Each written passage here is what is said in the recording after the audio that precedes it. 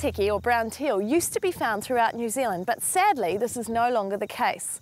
And while there is a stronghold population on Great Barrier Island, there is a mainland success story happening right here at Moehau at the north of the Coromandel Peninsula.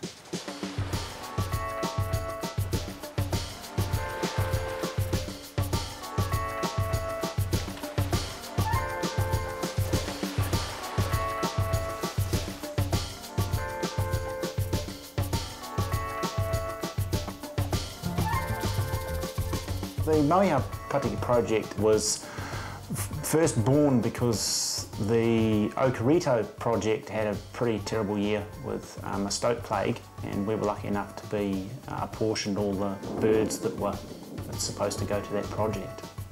The site was selected because it was already uh, part of a large area that was intensively managed for uh, kiwi protection. I currently trap an area that encompasses nearly 3,000 hectares of native bush and farmland. Um, this is also um, to protect kiwi as well, so we get a double layered effect there. Also, we alter our farming management practices a wee bit, and we have tried various different experiments to see what works and what encourages the teal into the farm environment. And currently here in Port Charles, we'll actually have nearly 20% of the world's population due to the success of the, of the project. One of the main aims of getting involved with this conservation uh, project and others that we've got in, in the pipeline uh, is to give us uh, possibly uh, a point of difference for our products that we, we produce off the land. At some point in the future, we might need a, a point of difference to market our product. Um, so being involved in positive, sustainable projects like this is, is going to hopefully assist with that. I believe that you can have uh, a business operation being run alongside conservation quite happily and both can uh, complement one another.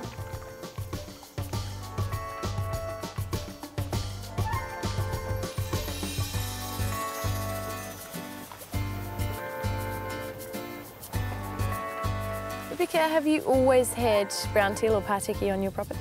No, not really. There were about 50 to start off with, and then in 2003, DOC released 23 pateke, and now there are about 500, which is really great. We're trying to achieve self-sustainability so that they breed to cover their losses, basically. Yep, and we've achieved that already, two years ahead of schedule. What is it about Pateke that you really love? They're just so cute. they're, they're really small and they're really dark. They're, they're really pretty, yeah, and they have a definite personality.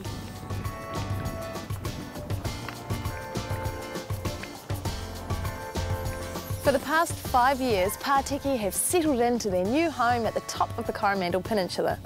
Not only have they survived, but they have thrived in their new customised environment, so far exceeding all expectations.